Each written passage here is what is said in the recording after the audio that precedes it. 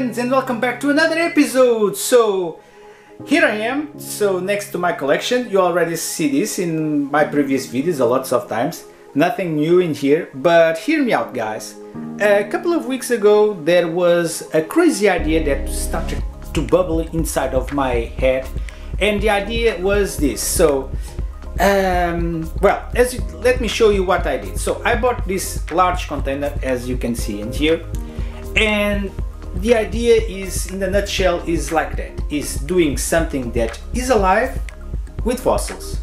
So i know that the idea is crazy right? But hear me out. So i have plenty of broken pieces and and small fossils that are laying around in my backyard. And the idea is uh, put them inside of that jar and doing some sort of vivarium with the fossils some sort of closed ecosystem inside of this jar so I have to put a lid on this. And the the, the objective it's uh, well it's have something that grows inside of this without doing anything just need a little bit of light and with fossils. So I want to give the vibe of something that is abandoned something with moss. Well I I know that I work a lot to remove all of the debris and dirt from these fossils but I think it's going to uh, to be cool doing something like that. So uh, let's get started and we'll see what the, results will be. So I'm going to do this step by step. Let's see if this will turn out okay. So friends so the first step in here so is in this container I'm going to create a layer about one inch thickness with some of these little fossils that were laying around in my backyard. So some of them are more or less cool, but I have better ones there in my collection. So the objective here is to uh, make a layer uh, that is going to work as our drainage. I'm going to explain the, this in, in the, the more, more in the front, but just one layer of one, one thickness one one or two I, I guess one one is enough. One inch thickness uh, of these fossils. And I'm going to try to put the fossils uh, well the best fossils um, turn to this side for the the, the people the people the person that is uh, watching the vivarium sees that the bottom layer is made out of fossils because because that's the main purpose. So let's get started and we'll see how this is going to turn out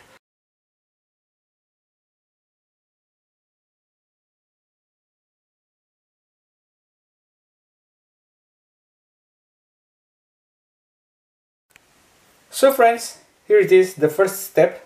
So as you can see, I have a layer of uh, fossils that are going to act uh, kind of um, uh, drainage. So the water will stay in there in the middle of all of that. So I guess the ones that are in the in the in the middle are not going to be seen because we have we are going to have a lot of stuff in the top uh, so but the ones that are in the in this side over here in the in the bottom. So I guess I'm going to put a little bit more. So I have a few other ones that whoa this is not focusing. So I have a few other ones. I'm going to sprinkle them around in there. So it kind of makes uh, the bottom a little bit more compact. But I just want you to see that this is the, the first step in order to build our fossil vivarium. So let's continue. So I added a few more fossils to the bottom layer. As you can see, it's starting to, to look very cool. But now we are going to add a second layer and for that I need to go outside because I cannot do that inside or else I'm going to make a mess in here. So let's get outside and I will explain why we need to add that layer. So for the next step we are going to need some charcoal. So any any type of charcoal could do. So the one that you normally use on your barbecues is great. So just keep in mind that you don't need large large chunks. So just some smaller ones so this one's I already put this in the plate and I'm going to take it uh, inside. It's too sunny in here. And I'm going to show you why you need this. And I'm going to put them inside our little ecosystem. So let's go inside again. As you can see I picked some smaller pieces. I'm not going to uh, take them with my hands now. But um, I'm going to add a layer in the bottom about the same height as this other one that is in here. And what this is going to do is this is going to act like a filter. So if our ecosystem is closed and the water evaporates and it starts to, to recycle inside over here so the water will be collected in the bottom in this drainage layer and, but it's going to be filtered with this uh, charcoal layer. So I'm going to add it uh, now and you guys are going to see the end results in a few moments. So let's get going. So here it is. So we are the second layer of charcoal which is looking like that. So uh, it's kind of looking looking nice. So now we need to do uh, one thing. So let me let me just show you how it looks from the top. So it's all nice uh, tight in in here so now we are going to need to add a net on the top of the charcoal uh, because uh, later we are going to add a chunk of dirt and we want to prevent that the dirt with the water to fall down from, from the, this layer to the layer of the filter and to the crevices of the drainage layer because if that happens well it's all mixed up and this will not do the, the part that uh, it's supposed to do and this uh, will not do the, the same thing so we got we want to separate the, the things. So how are we going to put uh, a, a net in here? So let me just show you how I'm going to do that. So guys I'm not sure if you uh, are seeing this properly. So I had this this mesh laying around. I guess this is from Halloween. Uh, I bought this to do something I don't remember. But as you can see well this kind of looks like a net but it has some large holes so I'm going to overlap this one or two times and then uh, I will show you how uh, we are going to put that. So uh, what I did was like that because this cloth I don't know if you can say it cloth this is kind of a mesh. Uh, well I remember now I bought this during the I guess a couple of years ago with, for the Halloween so I folded in three times. So I'm going to overlap them like that because now the the, the, the holes are very much uh, smaller and it fits the the purpose of, of what we want to achieve. But if, if you don't have this cloth you can uh, use some sort of a mesh anything that don't decompose with time something uh, of plastic. Uh, there are people that use a piece of plastic and poke holes on it in order to the water pass through it and, and, and some moist pass through it but not dirt. So I guess this is going to to do the job but now let me show you how I'm going to cut this. So make sure that you leave a margin to the container. So I'm going to cut like that leaving to well one or two inch margin around this. So I cut the, the fabric like that so all around the, the container so it's a little bit messed up. I should I should uh, work as a barber. okay, uh, so now I'm going to put this inside of the container and do uh, the separation from the charcoal. So uh, I use this one. It's black because it kind of dilutes itself with the the environment. Uh, I prefer black, but you can use any color if you want. So now I'm just going to put it inside. So uh, I need to use both hands. So guys you are not going to see this but I will show you the end result. So here it is the result. I know that it looks a little bit messy but adding this to the container is a, a nightmare because it doesn't want to stay in one place and it's kind of difficult to center that in in the in the middle. So I use this uh, how do you say this in English? Pliers? Ah, tweezers. I use a couple of tweezers in order to adjust the the, the mesh the net to the bottom over there. And now we are uh, prepared to add the layer of dirt. Just keep in mind one thing. If you add dirt from the outside you are adding the dirt and you are adding also the microorganisms and stuff that you don't see to your uh, micro uh, environment that are in that is in here. So uh, some of them little bugs can uh, damage the plants or whatever that is inside uh, living. So keep that in mind and be very careful with the kind of uh, dirt that you are going to choose. I'm going to choose something that I bought on the store in the store and later I'm going to add a, a, different kind of material and you are, you are going to see why I choose that. Sometimes you can bring along some microorganisms that create mold inside because this is going to be closed and all of the moss that is going to grow in the top of the fossils well will will have to grow without uh, any kind of of uh, fungus or mold and this is quite important. So uh, I'm going to add the dirt so I'm doing that outside because here in the office uh, I will definitely make a mess. So be right back. Ta-da! so now you get the point. Now you get the idea of what uh, I am trying to achieve in here. So I add this uh, layer over here this layer of substrate. So I bought this one over here. So this is my GoPro uh, disconnecting. So I add this layer over here but you can use any kind of dirt. There's no special trick about it. Just keep in mind if you add um, the net uh, some speckles and some pieces of dirt will collect in the bottom. That's normal. But you get the point what what I am trying to achieve in here. But now uh, it comes the fun part. So uh, now uh, I have to do to have some imagination because I am going to put some moss some plants I'm going to collect some, some biodiversity in the environment. I have plenty of fossils already inside. I'm not sure what I'm going to do, but hopefully something cool and something green. So now I am going to do some field trip. Just come along with me. This is going to be fast and we'll see what I'm going to create in here. So, so friends, continue. I know that this video is about fossils, but today we are going to pick up some uh, nice plants to put on our vivarium because we already have some fossils.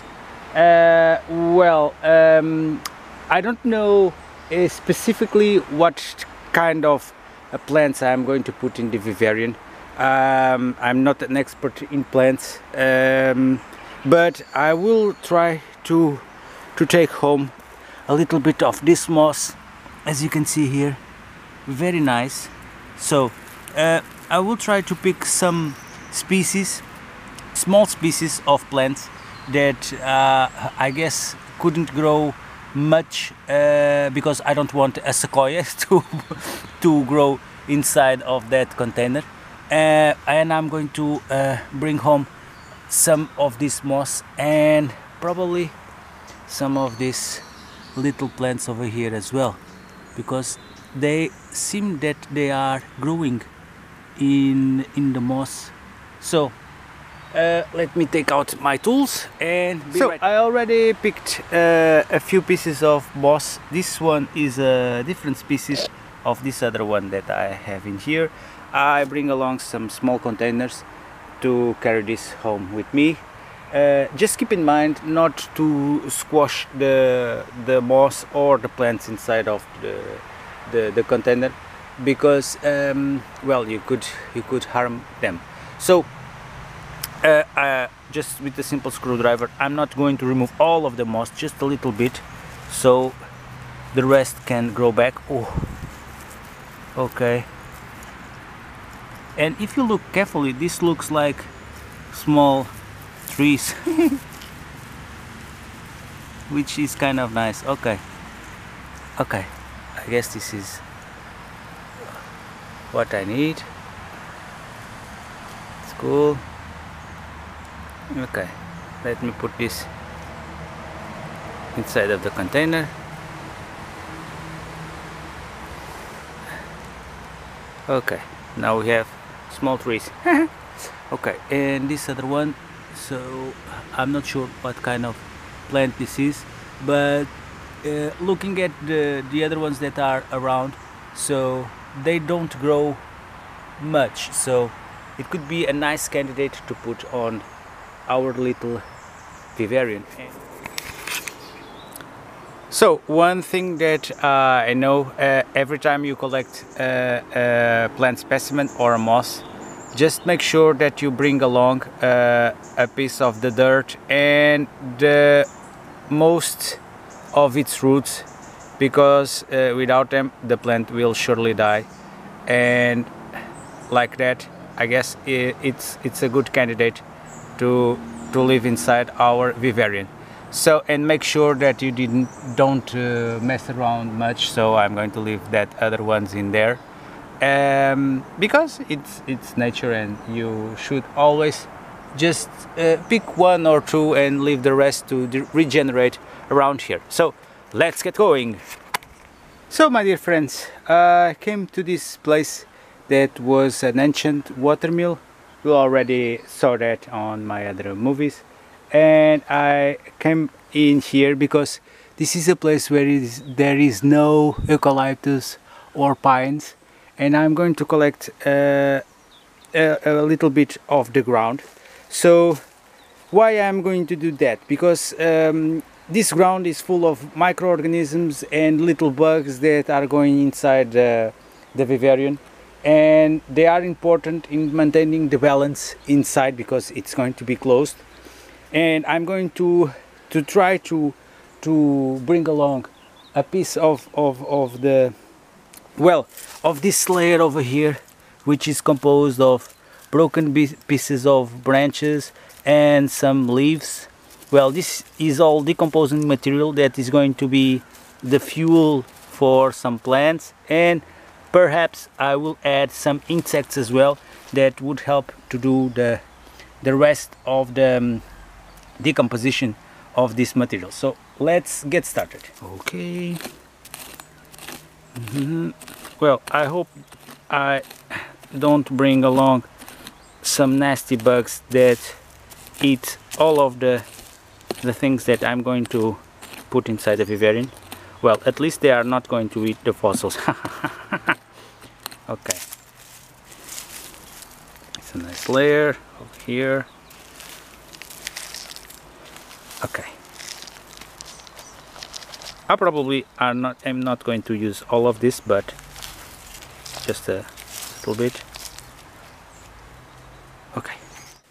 Hello friends. So a week has passed and I didn't progress anything in my terrarium as you can see all of the plants that I bring home are still not there uh, but I must confess that I did something previously so the plants that I bring home, I managed to do something uh, a little bit more or less like the, the thing that I have. So I gathered uh, two transparent boxes. As you can see there's a lot of condensation inside. Um, the process of doing something like this is the same that uh, that we did in the in the vivarium. So I put a lot of water, there's a lot of condensation inside and a week has passed as you can see almost every well there's a couple of exceptions but almost every plant that I bring home it's alive and it smells like forest so the moss did not make it very well so it's kind of yellowish so this is not very good. And I'm not sure if this is moss or lichens but I guess the problem here it's because I added some some company water and these uh, little uh, plants don't like things that are not uh, totally pure. So in the future I have to compensate for that so the this is part of the moss that I bring home. It's alive and kicking. So so cool. I'm I'm seeing some sort of bugs flying out so some insects. So it's very very cool inside of the of this box. I'm going to put a lid because I don't want the moist to get out. So I'm going to put a lid on this one. And these other ones that are in here have a different kind of setup I guess I still didn't open this after one week so I'm not sure. So these are some uh, some boxes of some vegetables. So still green. It's still cool. So it smells good also. No signs of of mold. Still very very green. And well this is cool looking cool. Okay now this is okay as well. So I'm going to close this. Be right back with the plants in just one moment. And now I just want to show you this because I think it's important. So um, I'm going to put some rocks inside. First I'm going to add a layer of, of uh, that that dirt that is full of microorganisms that I have inside of this container.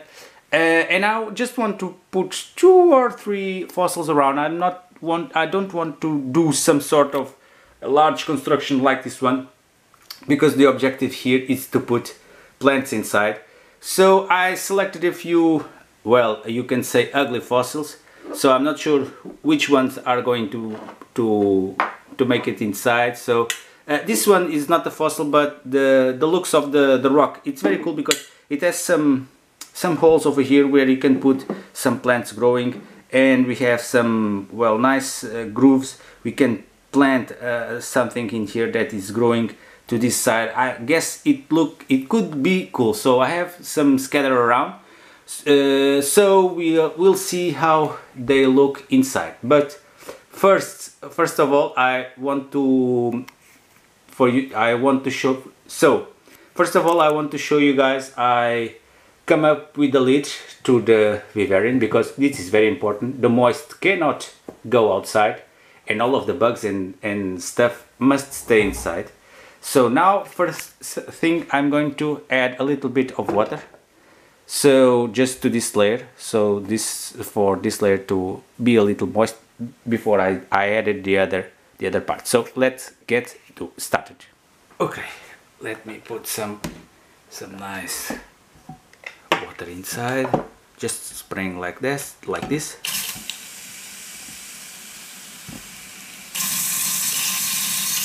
Okay. As you can see the glass is looking foggy but we'll fix that in a minute. Okay. I just want the dirt to get real moisty in here because this is very important. This is the bottom layer. Okay now it's okay. Now I have to show you this as well. So I didn't know where to bought something and I made a little tweezers with some chopsticks chopsticks. So uh, I'm going to clean the inside for you guys to see the rest. What is going to happen now? So now it has some water inside. The the ground the substrate is very moisty and I'm going to add this dirt that we collected outside keep in mind that uh, most of these bits that are in here are full with insects and some could be rotting away uh, with the as the time passes. So it's very important to have some some microorganisms that decompose that in order to this be added to the the ecosystem but without creating mold and I'm going to explain that uh, later on in the video but now I'm just going to add this inside I need to use both hands because this is very narrow to put like that. So just give me a moment. I added the layer of dirt. As you can see we have the substrate we have the layer of the of the microorganisms in here. You might say that this is uh, well this is too much dirt. Well it probably is but I want to use some some um, plants that have uh, a lot of roots and I have to to make sure that they have plenty of nutrients in here in order to grow. So inside, as you can see, I put uh, a little bit of water just to moist everything. So it's not looking great, but now I'm going to add the rocks and be right back with you. I added a few fossils, so the gastropod and there's a cuculé over there as well. And I'm not sure if I'm going to add any more, mm, just to make sure that I leave room for the plants to grow but I guess now it's time to add the plants. And we'll see let me just walk away a little bit for you guys to see it how it's turning uh, into. So now I'm going to add the plants and we'll see how this thing will go. So um, I don't know if I should should have more visual because um, well I need to fill the, the gaps inside of here. I am looking to put some moss over there but I'm not really sure what I'm going to to do. Because um, well if I add this coral bit over here I'm I'm guessing this is it's going to be it's going to be too much. Now this is uh, just a little test with these ones. I'm not sure if I'm going to put more in here. Uh, well in in the bottom there are a lot of them.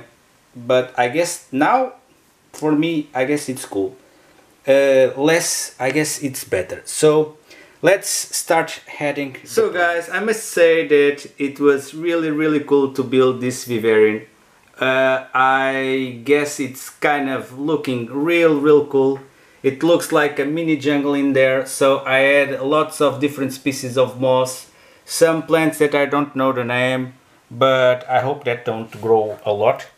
Uh, I added a few species of plants over there as well that grow uh, next to the river. I guess this other one I'm not sure if this one is going to give me problems because uh, I guess this grows a lot. So we have a different kind of uh, um, moss. I guess we have some lichens over there. Uh, well I'm planning to add uh, a few little bugs that eat away the, the mold. So I guess I'm going to add I don't know probably a millipede. So it kind of looks like a mini jungle with the millipede hanging around. I guess it's going to uh, look cool. So guys um, this is was my first one inside of this container. I guess you can do this in in uh, in uh, other containers as well. I'm not sure if I'm going to add any more um, plants in in here. So now I'm going to put some water and leave it like that for a couple of days. Uh, so I know that probably some of the plants or some of the stuff uh, some of the plants are, are, not going to make it so that's uh, from I heard from the internet that's pretty normal. Uh, so um, I'm going to put a lid in, in here as well so um, guys don't forget if you like uh, don't forget to put a like and subscribe. You will help me a lot with these crazy constructions and we'll see you on the next movie. Bye